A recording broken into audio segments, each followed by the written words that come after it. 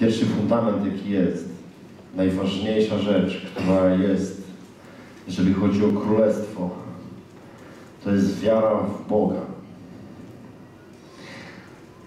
I o tym mówi list do Hebrajczyków. Pierwsza podstawa, wiara w Boga. A to nie jest wiara w istnienie Boga, tylko to jest wiara Bogu. Tak jest napisane, wiara Bogu, nie wiara w Boga, jako istniejącą postać. To jest podstawowa rzecz. Człowiek, który rodzi się na nowo, to człowiek, który musi uwierzyć Bogu. Kiedy on uwierzy Bogu, w to, że Jezus umarł za jego grzechy, że Jezus stał z martwych i uwierzy Bogu, że kiedy on uzna Jezusa jako swojego Pana i Zbawiciela, to odrodzi się duchowo, otworzy sobie drogę do nieba i drogę do sukcesu na ziemi, to on w ten sposób się zbawia. Potem, po duchowym odrodzeniu, człowiek, ten sam człowiek wciąż musi wierzyć Bogu. Musi wierzyć Bogu. Chodzenie z Bogiem to jest wierzenie Bogu. Wiara to nie jest wiedza. Tym jest z tą Biblią, a to był proroczy gest pokazujący, że wiedza niepraktykowana jest gównowarta. Wiedza niepraktykowana, ona nic nie znaczy. Rozumiecie? Wiedzę, jeśli się ma, ale się jej nie praktykuje, to ta wiedza nic nie daje. Powiem więcej, obciąża człowieka. To jest, człowiek jest obciążony wiedzą. Polska to jest w ogóle niesamowity kraj ludzi obciążonych wiedzą. Podejdziesz do menera na ulicy, który chla wina za złoty 30, czy nie wiem ile tam to kosztuje, ale on wszystko wie. Wszystko wie. Rozumiesz o co chodzi? Jest mistrzem w rozwiązywaniu krzyżówek.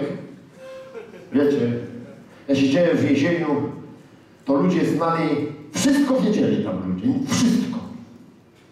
Rozumiesz? Na każdy temat był w stanie z tą porozmawiać, czego tam wszyscy. Tam człowieku, od prawnika po sztukmistrza wszystko. Tylko za cholerę żyć nie umieli. Wszystko wiedzieli, tylko nie umieli żyć. I to jest w ogóle choroba tego kraju. Wszystko wiedzą, nie potrafią tego przekuć na działanie. Wiedza nie przekuta na działanie to jest obciążenie. Ale wiara to nie jest wiedza. Wiara to jest pewność, że to, co powiedział Bóg, tak, to jest taki amen. W Chrystusie Jezusie wszystkie obietnice Boże mają swoje tak. Dla mnie i dla Ciebie. Chodzenie z Bogiem to wierzenie Bogu. Ludzie mają problemy, bo Bogu nie wierzą. W ogóle problemy chrześcijan pochodzą z tego miejsca.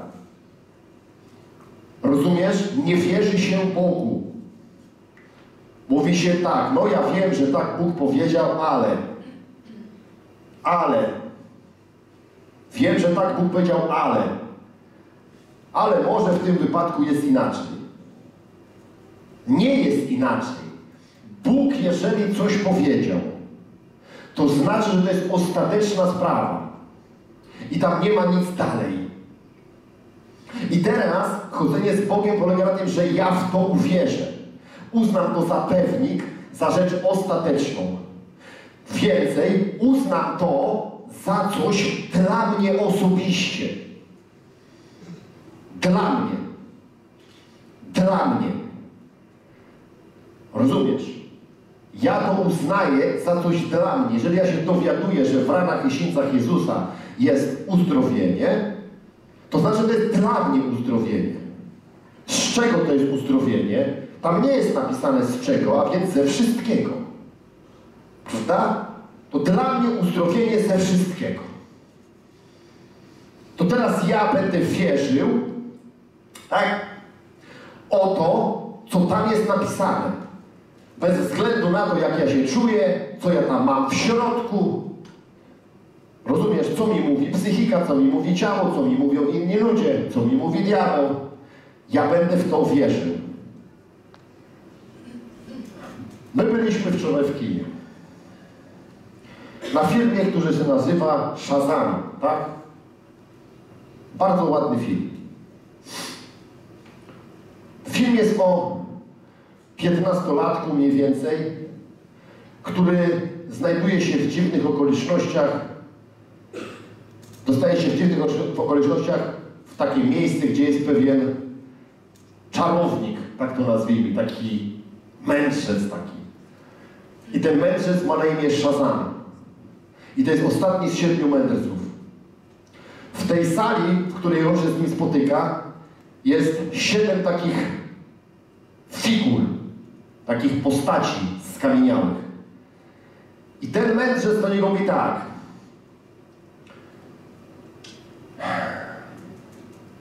Potrzebujemy człowieka o czystym sercu, który będzie Zbawicielem dla tego świata. Mówi, panujemy naszą mocą nad siedmioma grzechami. Ten to pycha, ten to próżność, one są takie hybrydy, takie w ogóle wielkie, takie w ogóle potwory skamieniałe.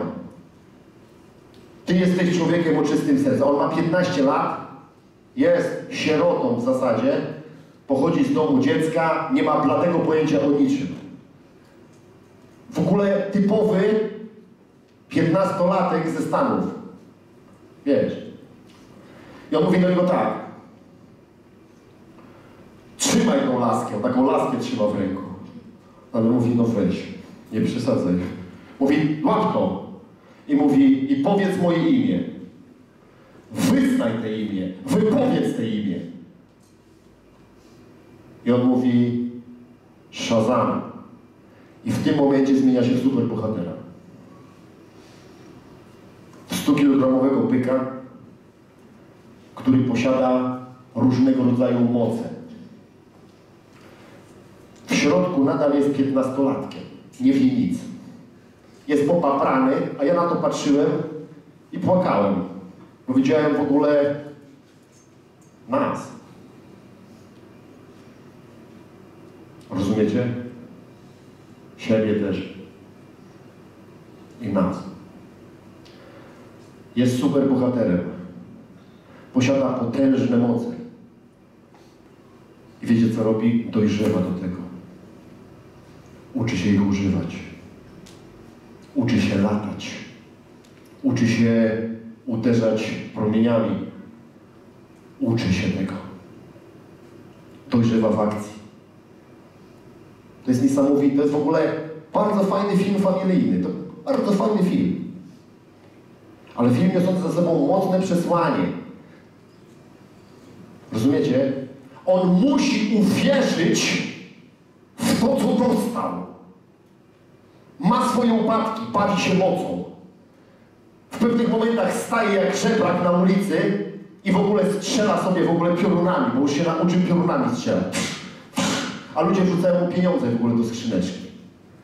Bawi się mocą, bawi się mocą. A Bóg do mnie mówił na tym filmie. Mówi, tak postępuje mój lud. Ja to widzę. Ale ja tego nie chcę. Chcę, żeby szli dalej. Chcę, żeby wierzyli. Chcę, żeby mi wierzyli. Ja go powołałem na Zbawiciela świata. On zaczyna ufać, krok po kroku uczy się, przez wiarę uczy się latać, przez wiarę uczy się walczyć z mocami ciemności, przez wiarę. Krok po kroku, opierając się na imieniu Shazam, wie, że w tym imieniu jest siła. Odnajduje ją potem w sobie. Wierzy. Chodzenie z Bogiem to wierzenie Bogu. Nieważne, co się czuje, nieważne, co się w danej chwili ma w głowie, w życiu, w ciele, to jest nieważne. To podstawa życia z Bogiem, wiara Bogu. Tego się nie obejdzie. Kościół to w ogóle zhumanizował. Słyszeliście świadectwo?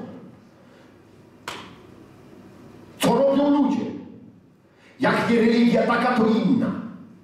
Jak nie zajęcia takie, to inne.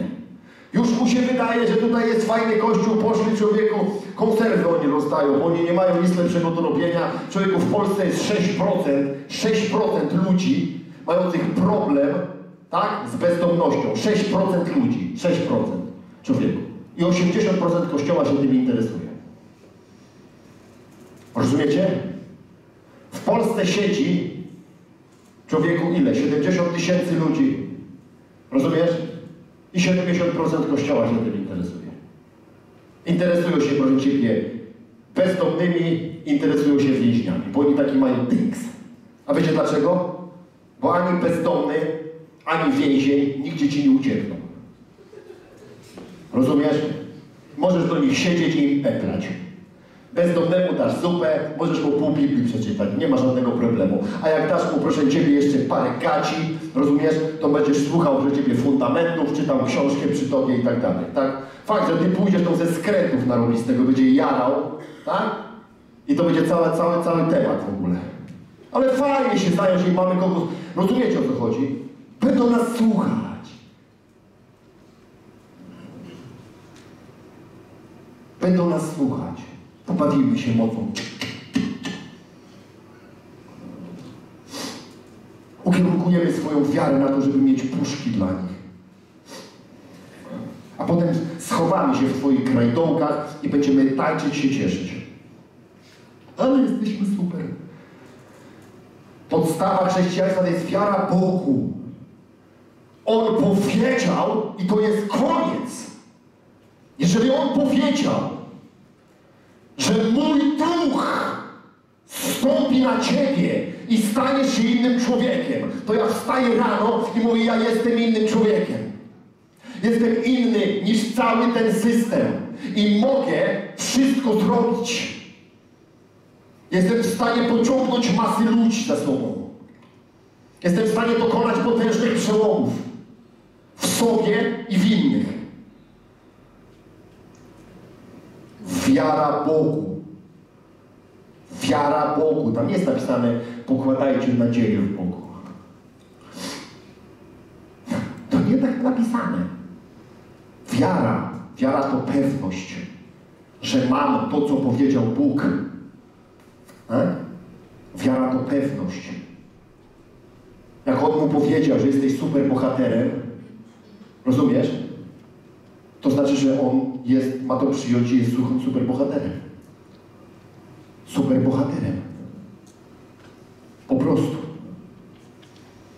On ma takie odrealnione pomysły, że jako autobus spada z pomostu, autobus z ludźmi, z pomostu spada.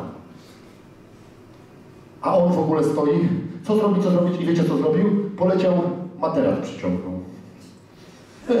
I pokazuje, że na ten materac może to spaść. W ogóle brak wiary w to, że może złapać ten autobus.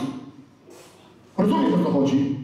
Normalnie cielesny chrześcijanin. Pomogę jakoś, materac przyniosę. Przecież człowiek jak z mostu autobus by pieprznął w materac, to by wbił materac w podłogę. Człowieku i połamałby się cały i zniszczyłby wszystko, co było w środku. I patrzeć, on dopiero załapuje, okej, okay, to ja mogę go złapać. O, i łapie autobus. Czy on to czuje? No tego nie czuje. Czy ty czujesz wiarę? Nie, nie czujesz. Wiary się nie czuje. Czy ty czujesz, że Bóg mówi prawdę? Bo ja nie czuję. Rozumiesz o co chodzi? Bóg to nie jest postać, co leży na kozetce w zakładzie terapeutycznym, tak? I ty masz taki głęboki ogląd w ogóle korzenia problemu w jego życiu. I ty wiesz, jakie towarzyszą emocje Bogu, Rozumiesz? W momencie, kiedy On uwalnia jakieś słowo. Ty tego nie wiesz. Tak sobie możemy zagrywać ze sobą. Ok? Tak możemy my sobie robić nawzajem. Ok. Ale Bogu musisz uwierzyć. I musisz przyjąć ostatecznie, że to, co On mówi, tak? To jest taki amen. Proszę Cię. Bo to jest fundamentalna rzecz. Pierwsza. Taka, pierwszy taki fundament żebyś rozprawił się w swoim życiu z najdrobniejszym elementem niedowiarstwa. Niedowiarstwo to Twój wróg numer jeden. codziennie warujący przy Twojej duszy. Codziennie, dzień w dzień. Rozumiesz o co chodzi? Dzień w dzień. Siedzący przy Twoim życiu. To taki bardzo wierny demon. Bardzo wierny demon. Rozumiesz? Odzywa się niepytany. Już mówisz, rozprawiłem się z odrzuceniem, rozprawiłem się. Tak? Niech tylko no, kto się pojawi przy Tobie, kto jest silniejszą osobowością, zaraz zobaczymy, czy się rozprawiłem. Od razu zaczniesz szczekać przy Tobie. Niech tylko kto pojawi się przy, przy, przy Tobie, komu się bardziej udaje coś. Rozumiesz? Od razu. Róbcie te rzeczy. Wytoczcie wojnę niedowiarstw. Powiedzcie, Boże mój, będę Ci zawsze we wszystko wierzył. Choćby nie wiem, ile mnie to miało kosztować.